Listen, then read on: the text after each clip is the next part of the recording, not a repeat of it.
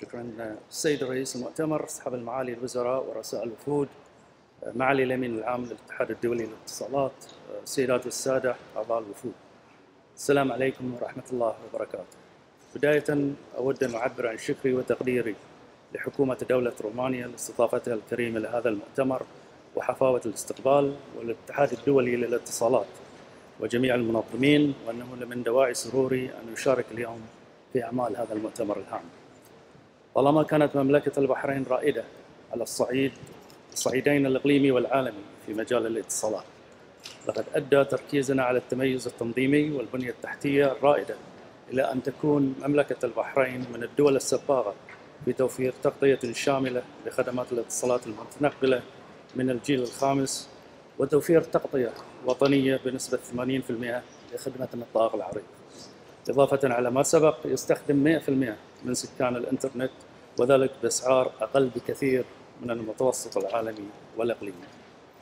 تم اختبار هذا الأساس عند انتشار جائحة كورونا كوفيد 19 وبسبب الاستثمار الذي وضعناه في قطاع الاتصالات وتكنولوجيا المعلومات والاتصالات استطعنا التأقلم والتكيف بالتغيير والمصاعب أثناء الانتشار العالمي للجائحة.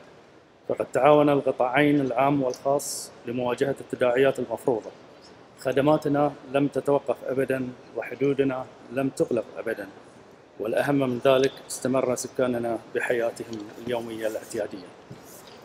مع وضع فلسفة التعاون هذه في الاعتبار كانت مملكة البحرين ولا تزال ملتزمة بتطوير ونمو كوادرها الوطنية. أكثر من 23% من الطلاب في البحرين مسجلين في مجالات علمية ورقمية وأكثر من 50% من هؤلاء الطلاب من النساء.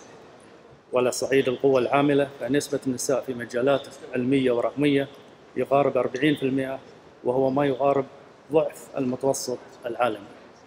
وقد رأينا ابتكار مستمر من الكوادر الفنية في البحرين والتي تنافس على الصعيد الإقليمي والدولي. توافر هذه المواهب أدى إلى إنشاء مراكز برمجة وخدمات فنية ومنصات رقمية تعزز قدرة مملكة البحرين لتوفير دعم للدول الصديقة وأن تكون رائدة الاقتصاد الرقمي العالمي المتسارع في النمو. وقد أثبتت البحرين قدرتها على أن تكون عاملا للنمو والتطوير لشركائنا إقليميا وعالميا. هذا هو التزامنا الراسخ وأن نعمل مع زملائنا وشركائنا لضمان النمو المستمر. والمستدام لبنيتنا التحتية وكوادرنا البشرية لضمان المنفعة المتبادلة والتنمية.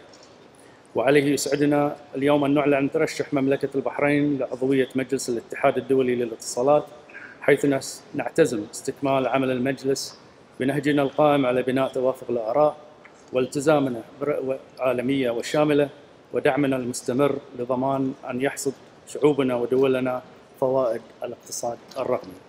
السيد الرئيس لكم منا ومن وفد مملكة البحرين أصدق التحيات والتقدير ونتمنى لكم مؤتمرا ناجح بنتائج مثمرة وموفقة.